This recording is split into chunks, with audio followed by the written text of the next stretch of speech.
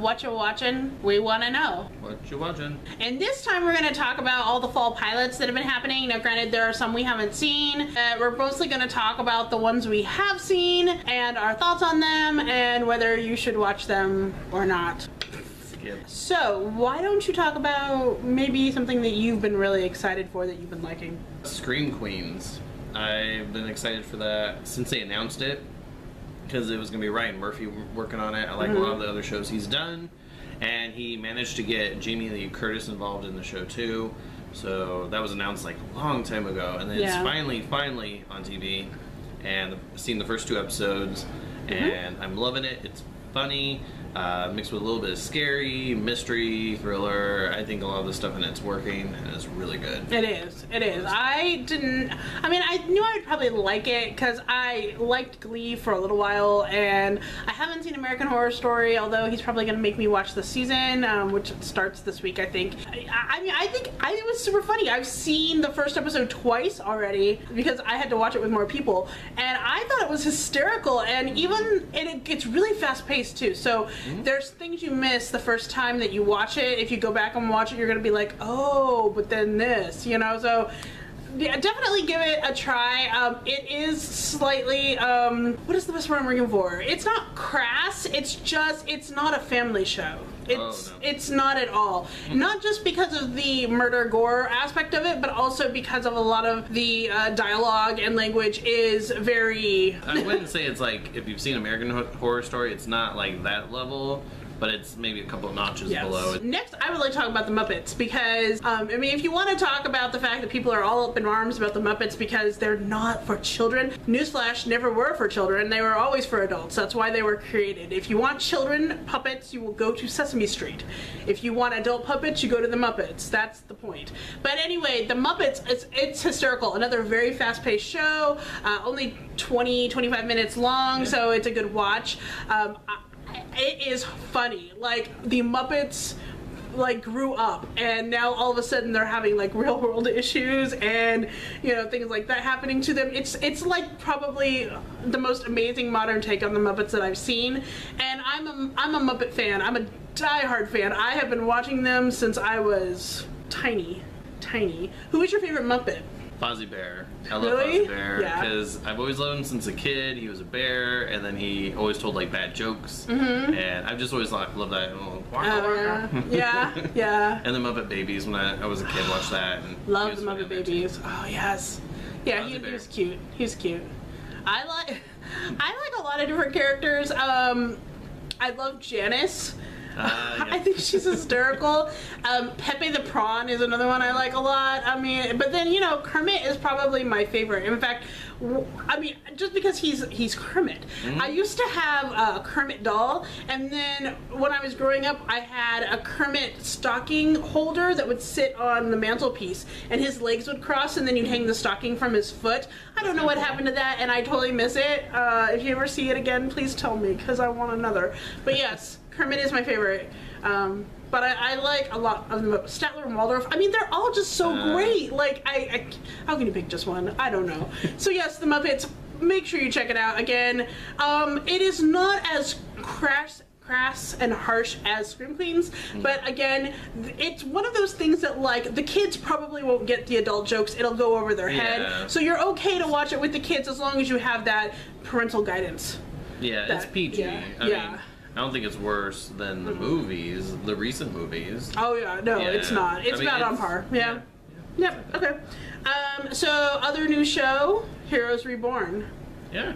Very good. I Uh, liked- yeah, I like the first episode. I haven't seen the second one yet. I did. But uh, Watched it without yeah, him. I like where it's going so far. Um, yeah, every episode, it's kind of like it's like they got back to the first series of Heroes, where you know it, it's the mysteries unraveling, but it's different too because you understand the universe. Especially if you've watched it before, you definitely understand the universe just as much. Yeah, I mean, uh, there are some characters that I don't necessarily care about too much, but I love that they brought back HRG and that it looks like they're going to be bringing back Hiro and they're going to be bringing back Parkman and maybe Micah. I think I saw the rest of them are all new. So you know, I, It is what it is. Yeah. Oh, maybe her shirt, like Mohinder, might be back too. Uh, He's kind of back. Yeah, We're not going to it's- spoil why he's yeah. back, but he kind of is. Um, but the new characters are interesting. Oh, Molly Walker. Of course. Oh, yeah. Of course, it's not the same one. She's older now, but she is back also. Um, if you guys like the first season of Heroes, definitely give this a shot because you might like it. Yeah. I liked it better than the second season. I've only seen the first episode. Season three, better than season three. Yeah, I didn't Yep. get that far. Once Upon a Time is back. Yes, it is. I'm liking it. Only one episode. That there was an episode last night, but I didn't get. We didn't watch it yet. Yep. hmm We don't have time. So much stuff on the weekend. I, I like. I, I'm, I'm just gonna tell you it's kind of a spoiler, but not really because if you've been watching the trailers, you know what happens. Mm. Eva Emma is just is awesome. I don't know why I like the bad guys in these Yeah. these shows. They're just more complex, way, but yeah, yeah. she's Yeah. she's. I I think that as an actress, she does a lot better as evil Emma than she does as good Emma. Just my opinion. Yeah, I mean it's like Regina. Like when she's evil, that like that's some of the like best parts of the show. Even though when she does try to be good, it's very it seems very heartfelt and very nice with Right. Regina.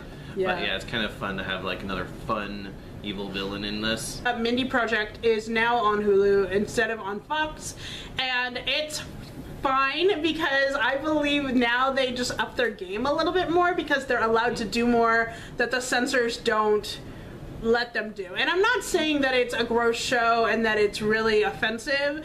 Um, I would I would say it's probably along the lines with the Muppets of what they do and say.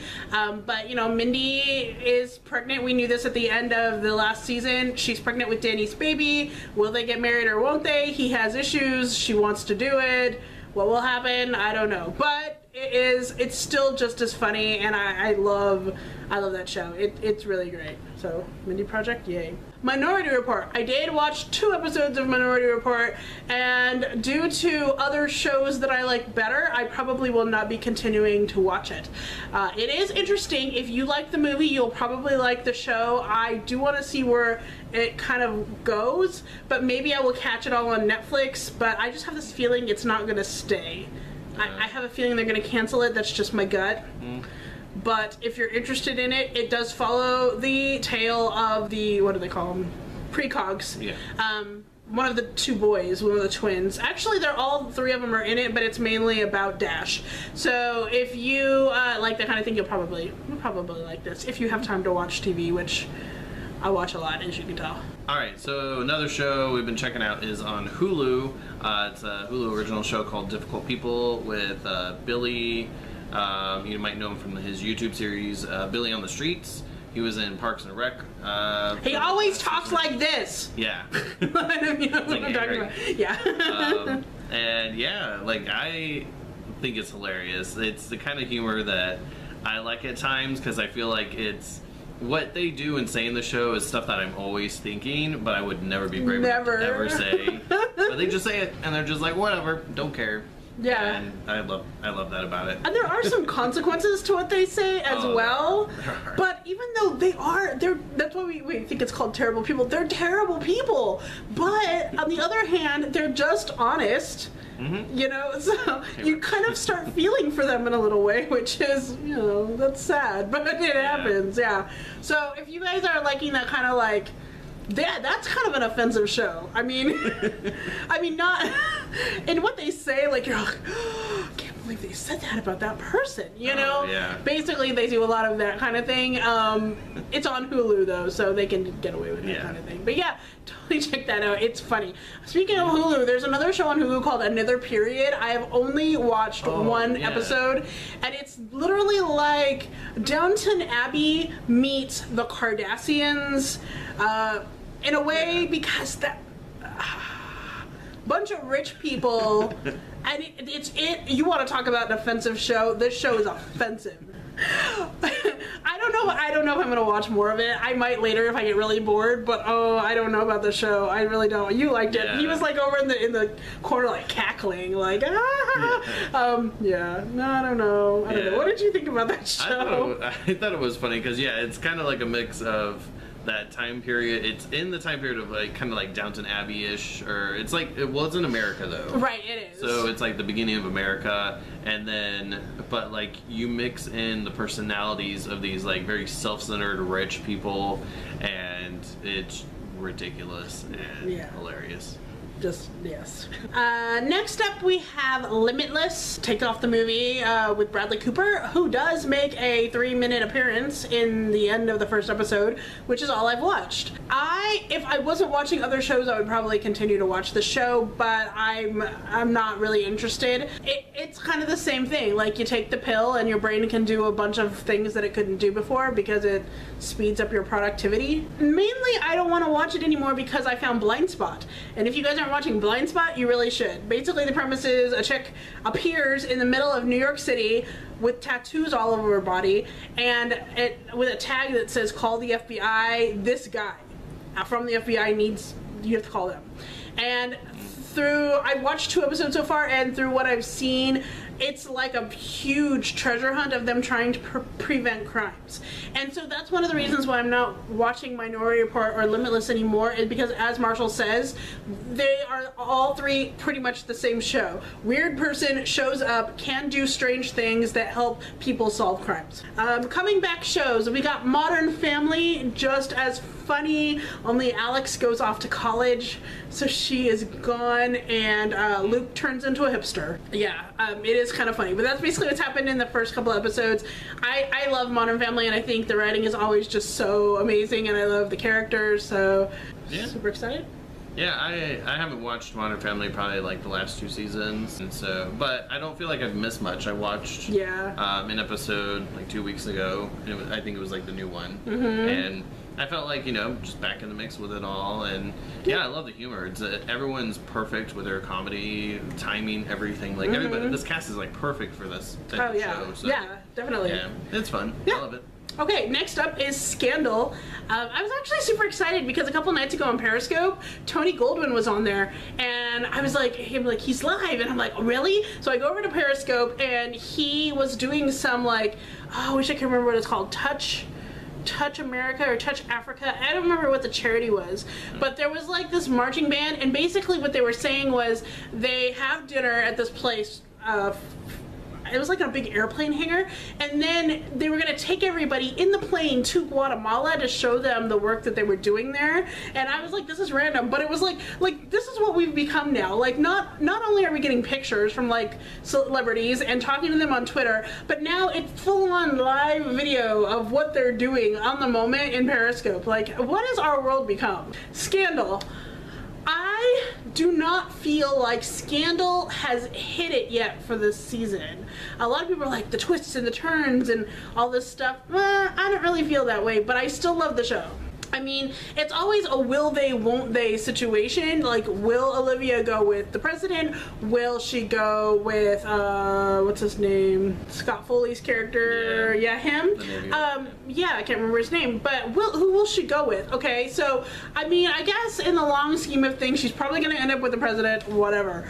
Um, there are a lot of characters that are no longer in the main part of it, like Cyrus no longer works in the White House anymore. He's been kicked out. And if I'm spoiling things, I'm really sorry, but this this is kind of where we are. Um, Huck and Quinn are fighting, hate each other, and then they don't hate each other. They're trying to make up. Uh, there's a lot of weird things going on. So like the big thing, which I'm just I'm going to spoil this right now because I feel like it's really interesting, is that Olivia gets outed as the president's mistress. The world now knows. So how do they come back from that? That's kind of like what this season is about. Um, so yes, it's it's it's certainly just as interesting, but I mean, I know I like I really like the characters in this show a lot, but I don't know. Like you haven't watched it in a little while, right? Who who do you think Olivia should end up with? I would say the president. I feel like, you know, from what I've seen of the first few seasons, uh, I don't know. I feel like they really fell in love with each other and loved each other for who they were. I mean, I don't know how things have changed, but um, I, I felt like her liking the other guy was more just kind of a heat of the moment passion kind of thing. Well, I think it Um, it did start out that way, but I think it's very different now. Oh, okay. He keeps her grounded. Oh, Um, oh, I can't even remember her name. Uh, his name I can't. Um, but Scott Foley's character, and, like, he was tasked to protect her, Yeah. even though she didn't know that. And then she just kind of was like, well, you know, he's here, might as well just be with him. But he is so in love he is so in love with her that Uh-huh. he's willing to sacrifice himself he's willing to kill for her he's willing to put everything else aside he's willing to give her up and say you need to go with the president so she will be happy the president doesn't do that he's selfish he, he just wants what he wants. He's willing to break up his marriage. He's willing to do whatever he wants. So that's why I'm not in that camp. I don't want her to end up with the president. I want her to end up with this other guy. I really do. I'm kind of Just where I left off. I was kind of interested in um, the wife. Um, Oh, Mellie. Yeah. Oh, yeah. I was at a point where she was like getting frustrated with stuff, and she was like, "I'm gonna run for president," kind of thing. Oh yeah. Well, Yeah. she's a senator now. Oh. Yeah. Um, I yeah. have to catch up and see. Yeah, she's a senator. I was getting really interested in her Uh, storyline. so that she right now she's a senator so that she can go to the White House after that. Mm. That's what she's doing. She's using the president as leverage and had an affair last season. Spoiler, but whatever. It's yeah. I guess she had an affair. deserved it. Yeah. So Thursday nights, Shonda Rhimes. Let's go into how to get away with murder. There's a new murder um, that they're trying to. Well, we kind of already know who did that murder. It's not a big thing. However. Um, the thing that they're, you know, okay, so at the beginning of last season, it was who murdered um, the professor's husband, right? So you're trying to figure that out. Like you see the scenes from it, and you're like, who murdered him? Well, in this one, what you see at the beginning of the first episode is that she, the professor, is laying dying in this house, gunshot wound, blood, and the students are all like running away and like standing over her and like, we gotta go, we gotta go. And you're like, what happened? She is dying. what is going on? So that's kind of what they're doing this season is like, where does she get to this point that she is now dying on the carpet of this mansion? That reminds me of Revenge. They did that Yes. A couple times. Mm-hmm. That's cool. Yes. Okay, we have a couple more. Um, we have a new show. I watched The Grinder. I thought it was very funny. So The Grinder is basically about a, Rob Lowe's character who plays a lawyer on TV, and Fred Savage's character who plays a lawyer in real life. And this is marks Fred Savage's return to acting. He did not want to do. I was reading this in Entertainment Weekly. He did this whole interview about how his life plan was never to go back to acting. He liked to direct. In fact, when he was in the Wonder Years, he was like, "I just want. I'm so fascinated with the guy behind the camera and the decisions that they make. That's what I want to do." So they send him the script to this, and he's like, "Yeah, I'd like to direct this." And they're like, "No, we want you in it." And he's like. No, no, I don't want to. And I guess he let him down a couple times, and I don't know what it was, but he finally was like, okay, I'm gonna do this it is funny. It's really funny because it's exactly what you would think. You know, you're sitting at home and you're watching Law and Order and you're watching CSI and all these procedural dramas, and you're like, I could do this. I know who it is. You know, this is exactly what you think of with this with Rob Lowe's character. He's been a lawyer for 20 years, and now he wants to take the bar and be a lawyer in real life. And his like honestly being a lawyer is all about logic you know? It's about putting together the evidence and figuring mm-hmm. out things and then presenting your case in a logical manner so that people get it right? Mm-hmm. So technically it's plausible but no it's it's funny. Like like fred savage like obviously as a director i feel like he's really studied the people that he's directed as well. There's a lot of like osmosis and um, so his acting ability even has gone up a little bit more too as well. So That's cool. this is definitely funny. If you if you want to check it out um, i believe it's on fox? Yes fox. Um, agents of shield started Oh, yeah. again. And um, there is a new hydra it's not really hydra i can't remember what it's Mm. called though I don't know if they even really said the name. Oh, maybe they didn't. Mm. Yeah. So yeah, there's this new corporation that's basically out to get them, um, because they're they're trying to hunt the Inhumans. the Inhumans. Yeah. They're both trying to hunt the Inhumans. One of them is to save them, and the other one is to kill them or something. We're not exactly sure what they're doing with them, but they are. Yeah. Yeah. There are certain characters that we don't know where they are. For example, Oh. Simmons. Yeah. Sh- last we saw, she was inside the monolith, and we don't know where she is. And Fitz is having a Breakdown. A total breakdown. He just wants her back. Um, Agent May, not really sure where she is either. She's just Well, he said he she went on vacation, but then she went AWOL. yes. So we back. don't know where she is. We don't know where Grant is. He he's out doing something bad, I'm sure. Um, I think the last TV show that we can talk about is Last Man on Earth, um, which uh, for me was kind of a surprise hit. I was like, really, this show doesn't look good. And then I started watching it, and it's actually really clever because, you know, in the first season, it was all about them in Tucson. And there were like seven of them that all survived some kind of sickness, as happens um, in these world ending scenarios. And so they form this community, but then, you know, he's a jerk. Uh, so they kick him out. But then the girl who he got married to in the first place, then they got divorced. Um, because basically he wanted to have sex with her and she wouldn't do it unless they got married. And then other things happen. So they got divorced, but then at the very end of the first season, she decides to go with him when he gets kicked out. So they travel the world, and if you guys have saw the first one, the first season, he was traveling the world in an RV because obviously that that's a great way to go. You have your bed and everything, so you know, Yep. great way. So the second season, he's in a freaking like Air Force bomber driving down the street. Like, really? yeah, he's weird. Um, so the, it's the two of them, and they're in the bomber, and they're like, you know, doing stuff. He accidentally drops a bomb on the on the supermarket parking lot. so they're like, oh no. So anyway, um, they're traveling around and um, they're staying at the White House and because why wouldn't you? I mean, if you had anywhere in the United States to go, why wouldn't you sleep in the White House? But yeah, so they're, they're the White House and she really misses people. So she wants to go back to Tucson. He does not. He can't because if he goes back, they're probably going to kill him because he's a jerk. And um, so what happens is they're, going along. They stop at a gas station and next thing you know she's mad so she goes she goes out to go she likes to bedazzle so she goes to like this craft store like on the center um like next to the rv and she's getting her stuff and she's bedazzling but he doesn't know she's gone so he leaves and doesn't realize it until he's really far down the road and now he can't find her so she's at some gas station who knows where and he's lost so he goes well there's plenty of cars around because no one's driving. Maybe she went back to Tucson. So he goes to Tucson. She's in Oklahoma. Oh, and here's the other mystery about it all. At the end of the last season, it was revealed that his brother is still alive in a space station in the air because he didn't get the virus because he was up in the space station. So he's not dead. He's still there with some worms that were for science. I don't know.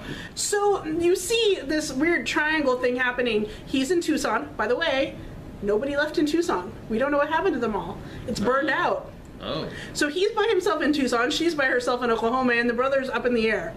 How will it all come together? Intriguing, right? Yeah. Yeah. So, you know, if you thought, eh, this show, whatever, give it a try. It's funny. Yeah, so there are some that we haven't seen yet. Like, unfortunately, I haven't seen the Neil Patrick Harris show, uh, Best Best Time Ever. Best Yeah. Time Ever. Haven't seen that show yet. Uh, you wanted to check out Blood and Oil. Yeah. Mm-hmm. And then like. there's Grandfathered, which is the one with John Stamos.